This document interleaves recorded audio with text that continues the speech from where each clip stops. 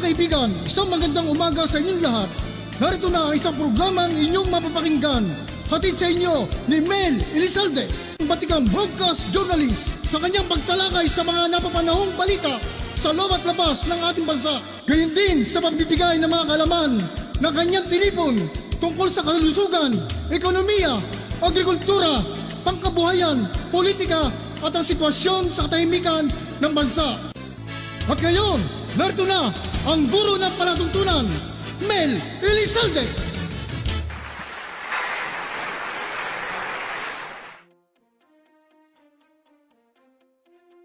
Magandang magandang hapon po sa inyong lahat, mga minamahal kong taga-subaybay. Welcome po dito again sa ating uh, studio mula sa Kalakhang, Maynila, ang Elizalde Broadcasting po. Dito sa uh, Ermita, Manila. Siyempre sa Calao Street. Ano Kaya, ngayon pong araw ay, anong araw ba ngayon? Merkulis na, October 20, 2021. Siyempre po, sa ating pong talakayan dito sa Kadiskarte with your host Mel Elizalde, ay marami na naman ho tayong pag-uusapan. Uh, alam niyo yung mga pinag-uusapan natin ha, mga kadiskarte, alam niyo naman hindi ito mga chismis. Ito ay para sa kapakanan ng ating mga mamamayan at ng ating bayan. Kasi po, kinakailangan parati tayong aware sa mga nangyayari sa ating paligid. No? Yan po ang isa sa ating mga ikanga obligasyon bilang isang mamamayan. Kailangan malaman natin ano ang nangyayari sa ating bansa, ano ang mga kaganapan sa ating mga paligid. No, para alam mo natin, tayo kasi ho magdi-decide eh, ang mga buong mamamayan ng Pilipinas kung ano po ang dapat nating gagawin. At siyempre, uh, magsasangguni po tayo sa mga proper authorities at at the same time, gagamitin po natin ang ating pong isip at puso. Siyempre, sa pag, uh, ika nga po, eh, pagdi-decide kung ano ang mga nararapat nating gawin. Well, uh, ngayong nung araw, uh, pag-uusapan na naman natin yung presyo ng bilihin. Ayan. Ang presyo ng bilihin, serbisyo, uh, delikado sa oil price hike na naman. Nako, yan na nga ho. Kahapon pa, yan na ho ating sinabi, no? Pero inulit ko na naman ho ngayon na subaybayan ng issue na to sapagkat napakamahalaga ho ito. Alam nyo naman eh, sumirit na naman ang presyo ng petrolyo pang walong beses na na magkakasunod na pagtaas. Napansin niyo ba yan, mga kadiskarte? Pangwalong beses na. Nakita nyo? Aba, eh, alam niyo naman, uh, kabado na po ang mga commuters at uh, baka itaas na ang presyo ng pamasahe. Alam niyo po yung mga serbisyo ng mga ng mga drivers natin, yung mga ika nga po ay pampublikong uh, mga jeepney drivers, no, mga bus drivers na pampubliko, ay alam niyo po eh talaga namang nagdedelikado na naman ang kanila pong mga trabaho, no? Ang kanila pong mga kita. At syempre, ang ating pong mga mamamayan, mga kadiskarte natin na commuters, kinakabahan na naman kasi ang anuman pong dagdag sa pamasahe, eh bay dalahin na naman ang bulsa natin yan, di po ba? O kung ang ating pamasahe ngayon na pinaka, nga, yung pinakamababa ay 9 pesos. O, pagka senior citizen kayo, o, buti na lang, ah, ako ho, eh, di pa senior. Kaya wala akong ano, wala pa akong, wala pa ho akong ika nga, eh, medyo, ano makatipid ng konti, no? Pero ang sinasabi ko po, uh, malaking bagay po kasi pag pinatungan na naman ng mga tsuper ang pasahe na pagdagdag, eh syempre mahirapan na naman ho mga commuters natin. Eh alam nyo naman po, napakahirap po ng buhay ngayon. Well, sandali po, no? uh, Mr. Hanky Ang is watching. Thank you for watching, Mr. Uh, Hanky. Yan, thank you anak for watching. At sinasabi nga po, uh, pagka ganitong mga pagkakataon, pati mga tsuper, nag-aalala na naman yan eh, no? Kasi, tapos babanatan na naman ho ng kung saan namimiligro na naman po sila na hindi makalabas kasi bakit? Eh, siyempre, marami hong tsuper ang nag-aagawan sa islat na makalabas ng ng, ng kanilang mga jeepneys ano? Kasi kahit na medyo mataas ho yung tinatawag nilang magkano ba ang bayad niyan sa ano sa may-ari? Parang ganyan ano? Kahit humataas sila po ay talagang uh, nagpupumilit kasi yung ibang mga jeepney drivers na, na, na minsan no nakipag-usap ako sa kanila nung hindi pa raw pandemic na straight nila minsan ng isang linggo o tatlong a- apat na beses.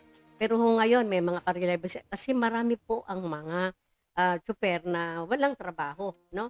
Nako, na ika nga po eh um, hindi makalabas kasi ang mga jeepney operators ay ah, sabi nila nalulugi sila dahil alam nyo naman, lalo na nung hindi pa binababa yung ika nga yung ECQ na yan, ay kokonti lamang ang ang ano po, ang mga pasahero hindi pa pwedeng puno ang pasahero ng jeepneys.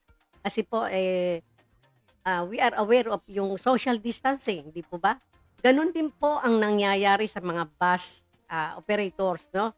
Kaya po nahihirapan ang mga mamamayan na kung saan katakot-takot na pila po ang nangyayari kasi darating po yung isang bus, hindi naman ho kailangang punuin-punuin, kailangan ilang porsyento lamang.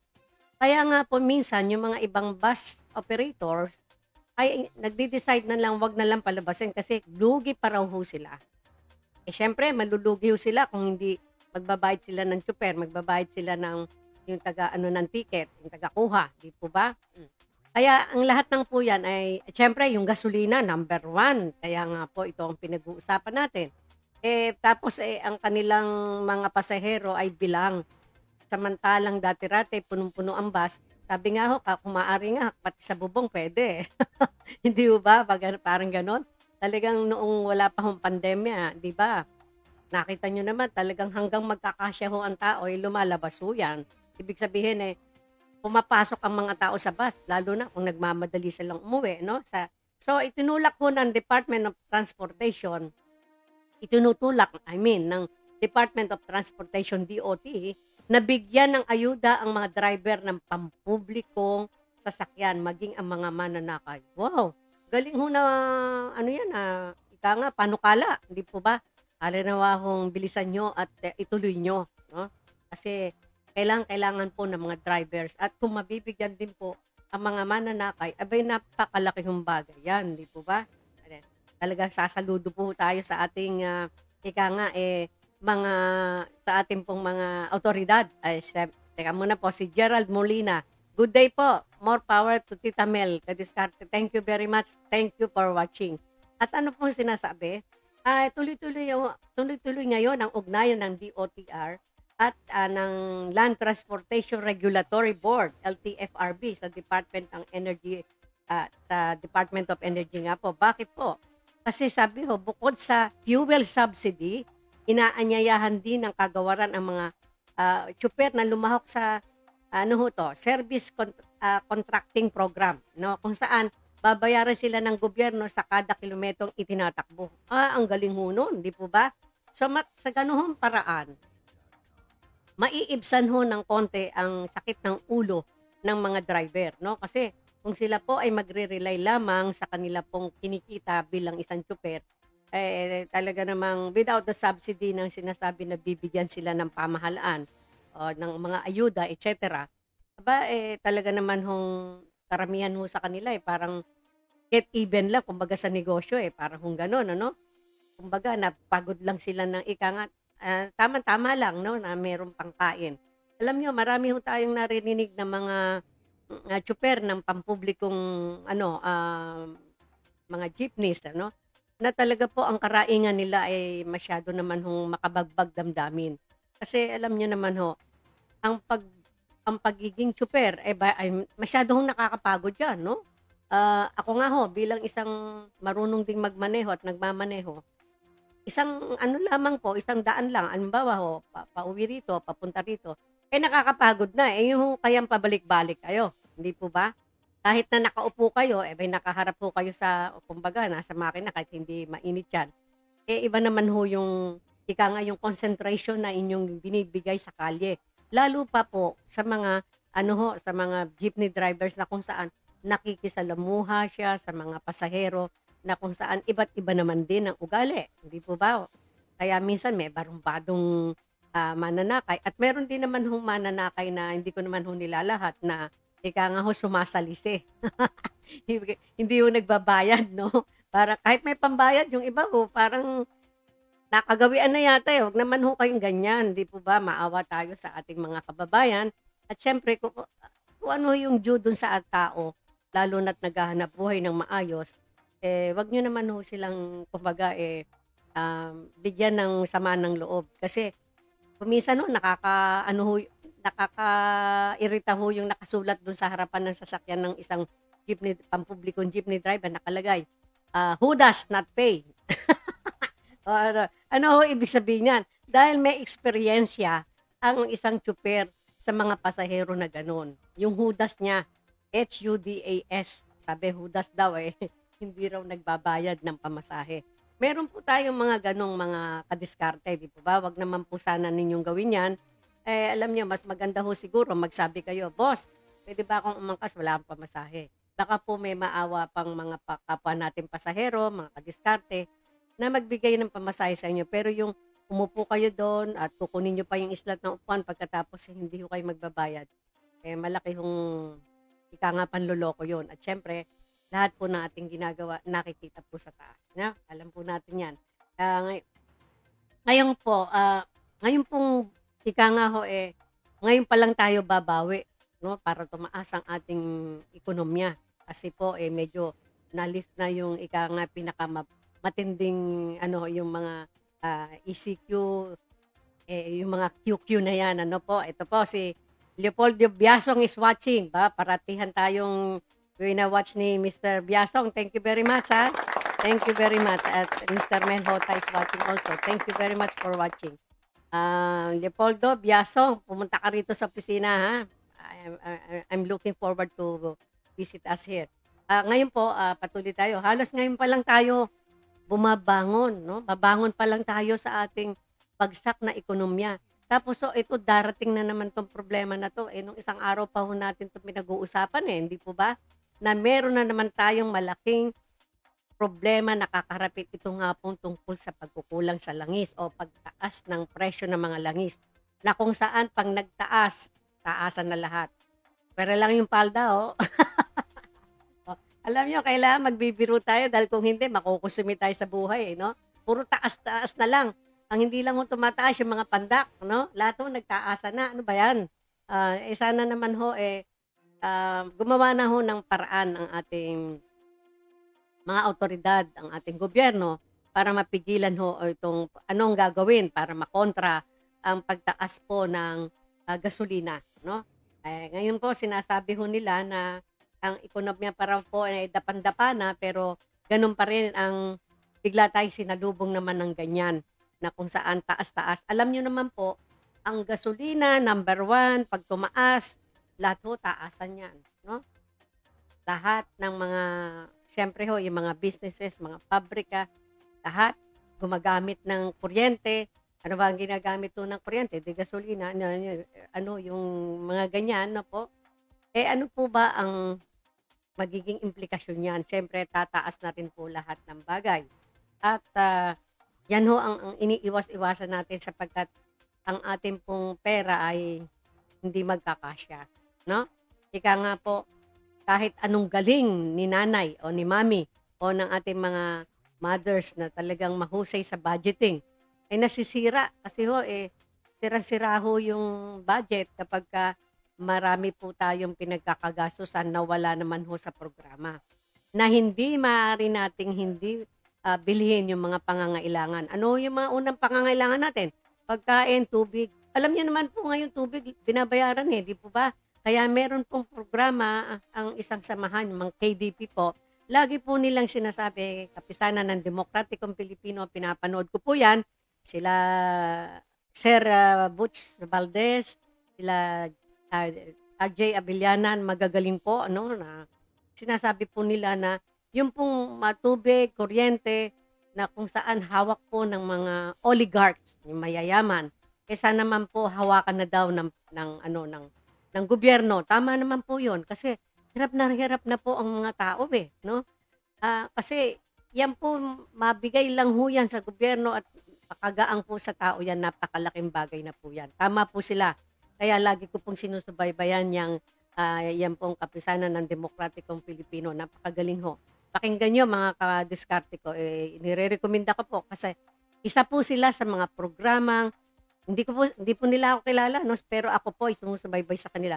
Isa po sila sa mga programang sinusubaybayan ko sapagkat talagang inilalahad po nila sa mga sa bansang Pilipinas ang katotohanan ng nangyayari at gumagawa po sila ng pag-aaral kung paano ito uh, kokontrahin. At sana po ay uh, na, naririnig ng ating gobyerno. At alam ko po na ating presidente ay alam din niya yan.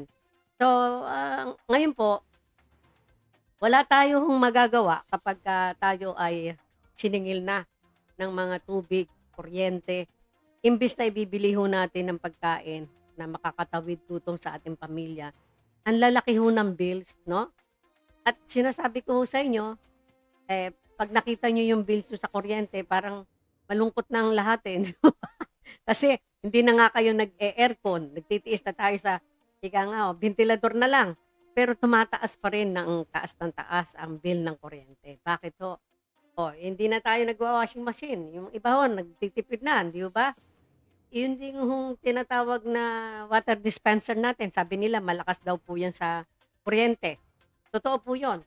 Hindi na rin ginagamit ng iba. Ang ginagawa, kukuha na lang ng pitchel at doon nilalagay yung ano. Eh, alam nyo po, ang mga Pilipino ay talagang aral sa mga katipiran. Pero hindi po natin dapat asahan din po yung aral tayo.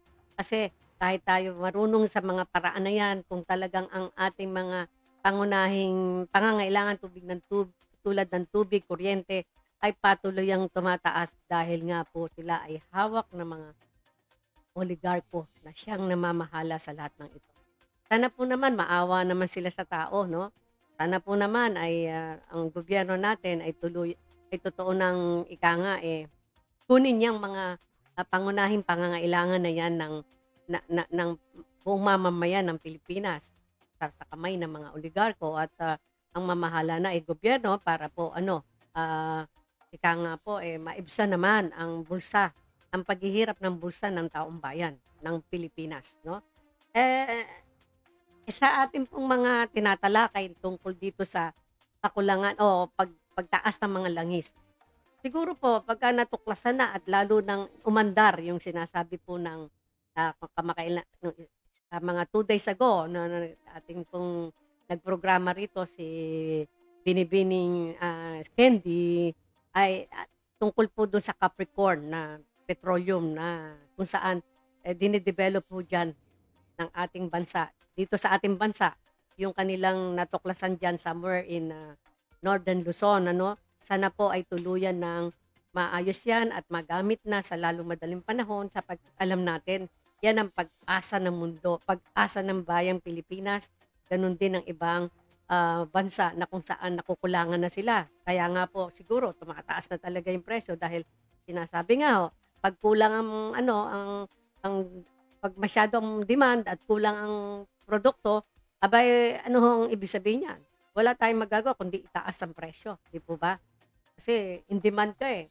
Siyempre, pag in demand ka, wow, ma, manana, ma, ano, ma, ma, mananalasa naman yung mga businessman, ano?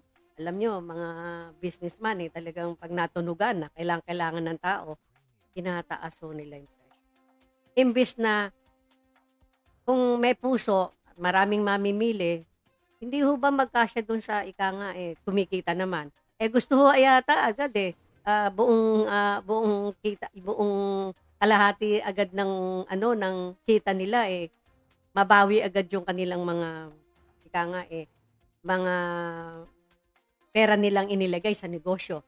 Para kung gano'n, no? Samantalang ang kung may puso po sila, eh sasabihin nila, total, ang dami nating buyer. Bakit naman hindi natin babaan lang, taman-tama lang? At least kumikita. Sana naman ho, ganun ng mga businessman, no?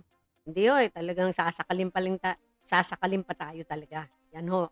Ah, kaya nga po sinasabi natin, uh, sa darating na eleksyon, kaya ito, magkakakawil-kawil ho ito, magkakarugtong itong pinag-uusapan natin, no?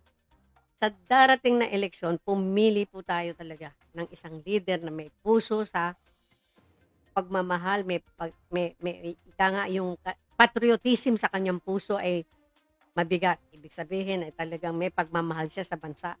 Kapag po ganun ang napili natin, siyempre, titignan ho niya ang kapakanan ng bayan. At tatanggalin ho niya yung mga nakakaperwisyo sa bayan na mga negosyo. Pakikiusapan po niya yung malalaking mga negosyante na yan na kung saan siguro naman pag pinak- kinausap ng presidente eh talagang total hindi naman ho talaga sila tuluyang malulugi. Ika nga ho eh pagbigyan naman ang bayan. Eh siguro papayag naman sa magandang usapan, di po ba? Kung ang ating pong magiging pangulo sa darating na panahon ay talagang may puso sa mamamayan. Hindi ko naman po sinasabing ating pang, mahal na Pangulong Duterte walang pagmamahal sa bayan. Meron din po, pero medyo nakikita po natin na medyo nakukulangan, ano? Kaya nga po ang mga tao ay nagdadaingan na. Kasi nga po, naalala nyo po ba nung sinabi ni Pangulong Duterte no na pinangako niya na yung mga oligarko na yan ay talagang kakausapin niya at uh, talagang kumbaga sasabihin niya yung gusto ng taong bayan. Hanggang doon lang ho yan. Eh. Hindi naman ho niya talaga itinutuon at uh, pinorsu yung kanyang mga uh, sinabi at pinangako sa atin. Kung kaya uh, medyo ngayon ho, uh, umaarangkada na naman. O, umaarangkada na naman ang taasan. No? Ng singil sa tubig, sa, sa kuryente. At ang masakit po, pwede na ngayon ng putulan. No? Pagka hindi kayo nakabayad, putol. No? Putol ang inyong serbisyo. Eh, hindi katulad doon nung kasagsagan ng, ano, ng pandemya noong 2019, meron direktiba po ang ating uh, gobyerno na hindi sila magpapasingil kahit po sa mga establishmento. Eh, ako po, isa po sa mga nagkaroon ng uh, ganong pribileyo na ako yung nangungupahan dito sa malaking building na to. At uh, hindi po ako nasingil ng tambon yata o no, parang gratis ang nangyari kasi nga po sumunod sila sa uh, direktiba ng uh, gobyerno na kung saan yung mga nagnenegosyo ay wag nang singilin sapagkat pandemya nga, walang kinita. Everybody is zero sa, sa kanilang mga negosyo. Kung kaya't uh, itong ating may-ari ng building na to ay pinasasalamatan din natin, ano? Kasi ho, uh, sumunod naman siya sa direktiba. That was in 2019, no? Nung kasagsagan ng uh, ano po ng pandemya. Yun no ay napag-uusapan natin sapagkat uh, hindi natin maiwasan po ang hindi magbalik tanaw sa mga pangyayaring ito. At uh, alam niyo yung mga pangyayari minsan no pabalik-balik eh, paulit-ulit, no? Kaya nga sabi nga ho, hindi maaring ang mga nangyari na eh, hindi pa maulit. Marami hong pagkakataon na nauulit. Kaya nga po, dapat to eh, sinusubaybayan. Katulad ho yung sinasabi noon na hindi kayo, oh, wala ho, huwag kayong mag-alala, sabi ng Meralco hindi muna tayo magpuputol, magbibigay tayo ng so and so na buwan. Maganda, maganda nangyari noon, no? Ilang buwan na binigyan ng, pag, na, ng palugit ang mga mamamayan na hindi ma, makabayad ng kaagad ng kanilang obligasyon sa Meralco o sa tubig sapagkat nawalan pare-pareho ng trabaho. So, tama lang ho yun, no? Pero ngayon na naman, umaatake na naman ho yung ganyan, mukhang nagkakabalikan na ho yung nagkakahigpitan na naman na pag hindi ka nakabayad, putol agad. Sabi ko nung ano, eh bakit wala kaming internet? Eh ma'am, kasi ho, eh, nasa system na ho yan eh. Kumbaga, automatic, pag hindi nakabayad ng every 16, putol. Wala man lang ho pasabi. Oh, yan ho, nangyayari, nagugulat ka kasi nalilate ka minsan uh, sa paggagamit, pag ano ho, ng, ano, ng, ng mga ganitong obligasyon, sa dami ng trabaho, nakalimutan mo, yung pala yung 16 po, matak na Sabado, Linggo, Lunes ka na nakapagbayad, wala ka ng internet. Ah, biro nyo yun, wala man lang ho pasabi, tapos sasabihin, nasa system na ho namin kasi yan. Hindi ho kasi pag pero ang ano naman ho, kaagad na ibabalik nila. Pero syempre, nakaperwisyo na. Di po ba? Kaya yan po ang panawagan ng ating pong mga mamayan, mamamayan at saka sinasabi nga po ng ating uh, sinusubaybayan na napakagaling na, uh, na, na, na ano po, na organisasyon, yung KDP, sinasabi ho, sana naman yung mga oligarchs na yan, eh, medyo magkaroon naman ng puso sa bayang Pilipinas. Sana po ay uh, ayusin naman po nila. Sana po ay uh, mababaan naman. Sana all. sana all naman na magkaunawaan, na magbigayan. Wag naman ho yung sobrang ano eh, hindi na ho maintindihan eh. Ika nga ho, parang ang dating eh, parang ano ba yon Walang, walang puso na eh. Yan, Basta ang pinag-uusapan dito, ano na, ano, business kung business, ay wala akong pakialam sa inyo. Wala kayong pera, putol. Para kung ganun, no? Um, ano eh, parang hindi na makatao masyado. Wala ho siyang pakialam sa kanyang mga, uh, ika nga, eh, y- yung mga customer niya. Walang reason uh, kung ano, ano ba ang dahilan. Nagkasakit ba? Kahit man lang konti, eh, bigyan man lamang ho sana ng konsiderasyon. Eh yun, bumalik na naman ho yung ika nga eh, pagka hindi nakabayad, putol. Ganyan no eh, no? So, ano ang ating mga prioridad sa buhay? Siyempre, alam nyo naman, ang kuryente, ang tubig, pinaka, ano ho yan, necessity sa buhay ng tao. So, pero siyempre, sa, between tubig at kuryente, mas gusto natin ang tubig. Eh kasi, eh, matay tayo kung walang tubig, di ba? Samantala ang kuryente, medyo mabuhay pa tayo, kaya lang magkakapa tayo niyan, no? Parang gano'n. Siyempre, necessity ho yan. Lahat, eh. Paano tayo mamalansya? Paano tayo magluto? Paano tayo lahat 'to kailangan, eh. Paano tayo 'pag naiinita, walang bentilador, walang kuryente, 'no? Samantalang ang tubig, walang rason. Kinakailangan uminom tayo pagkagising pa lang bago matulog, kailangan natin ng tubig. At kung minsan, ay nabubuhay ang tao ng hindi nakakakain ng ilang araw basta may tubig siya sa ano, tubig siya ng tubig. Yan po, ah, mahalaga ho yan. At syempre, sa ating pong mga gawain pang araw-araw, ang tubig po ang pinaka-importante. At syempre sa ano pa man pong uh, disgrasya, katulad ng sunog o whatever, ang importante po ay tubig. May nasusunog, naputulan ng tubig yung lugar na yun, walang tubig. Paano ho yun? No? Ang hirap po niyan eh. Kaya nga sana po ang ating panawagan sa mga may-ari ng nagpapaandar ng mga yung mga oligarko na yan. Karoon naman po sana sila ng damdamin sa ating mamamayan eh matagal na ho silang kumikita ng milyon-bilyones eh. No? Sabi nga po nung kapisanan ng mga demokratikong Pilipino na kung saan hindi naman ho nila ako kilala, ako po ay tagahanga nila, taga-subaybay. Nakita ko po ang talaga nilang pagtalakay sa mga uh, issues for the uh, ano po sa mga para sa mamamayan. Napakaganda po at sana po pakinggan niyo lahat 'yon, no? Makikita ho natin sa uh, Facebook. So, yan po mga minamahal kong kadiskarte. Ah, wag ho kayong mangamba, bagamat pinag-uusapan natin 'to at nakikita naman natin na nangyayari na at mangyayari pa, eh, paghahandaan ho natin. At siyempre tayo po ay magsama-sama na kung saan ay magbigay tayo ng ating mga alam niyo social media, eh, nandiyan po lahat ang mga boses ng mamamayan. Siguro po 'pag nalaman 'yan o nakita, nabasa, eh, baka ng ating mga otoridad, eh, aaksiyunan naman nila at ina-action na naman sa palagay ko. Pero sabi nga natin, uh, para wag makalimutan, lagi ho tayong nakaamba dyan, ika nga nakaabang, na nagmamasid, ika nga ho, ano, sa mga paligid natin. At syempre, lagi tayong magbo-voice out ng ating pong mga opinion sapagkat yan po ang mahalaga na makita ng ating, ng ating pong gobyerno. So hanggang sa muli po mga kadiskarte ko pero bago tayo maghiwa-hiwalay, gusto ko pong uh, batiin yung ating mga kaibigan si Ma'am Edna Mangaldan, ang, ang aming pong head sa uh, Mathematics Department diyan sa Arellano High School. Si Ma'am Elsa Bruneda ng DWBL. Thank you very much po, Ma'am. At uh, birthday nyo ba yata? Eh, parang nakita ko doon sa Facebook. Eh, nagmamadali ho ako ba? Eh, sabi ko, kung may bumati kay Ma'am. Ah.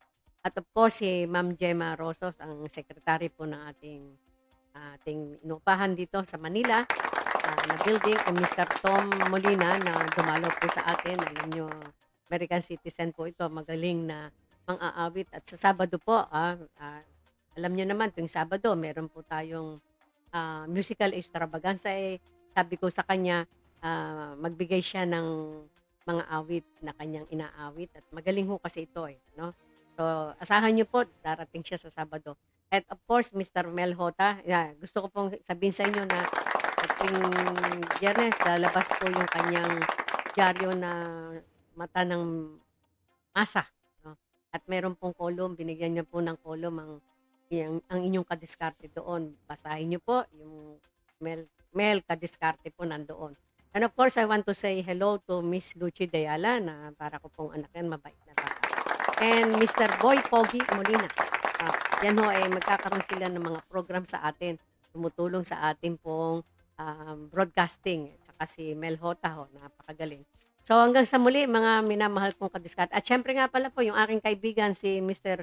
Uh, uh, ano, Rodolfo Santo Domingo. saka si, si Atty. Rudy Meliza. No? Eh, mga kaibigan po natin yan. Hindi ko yung nakakalimutan po. At siyempre ang Original Friday Group na kung saan ang mga aking pong mga kasama dati dyan. Hanggang ngayon, kahit hindi po ako inyo nakakasama, ano, ah, ah, physically, nandyan po kayo sa aking puso at damdamin. Uh, ito po, bumati na si Mr. Rodolfo Santo Domingo. Hi, Tita Mel. Thank you for the, for watching. At yung aking pong kaibigan na si Miriam na taga San Pedro. Ah, yung usapan natin sa linggo, there. Of course, Carlo Pancho, ang pinakagwapo. Hello po, Tita Mel. Ah, abangan nyo siya sa Sabado kasama yung si Mr. Um, Boy Pogi Molina, no? At saka siyempre si Mel Mota. Uh, Ron, Rodolfo Santo Domingo is watching. So mga kaibigan, uh, mga minamahal kong kadiskarte, huwag niyo pong kalilimutang i-like at uh, i-share ang ating pong Elizalde Broadcasting sa ating YouTube channel at saka sa Facebook channel. At syempre, ang ating pong mga programang dito po sa ating uh, uh, Elizalde Broadcasting. So at huwag niyo rin kakalimutan na ang inyong host, Mel Elizalde, lagi pong nagmamahal sa inyo. I always love you all. Thank you very much.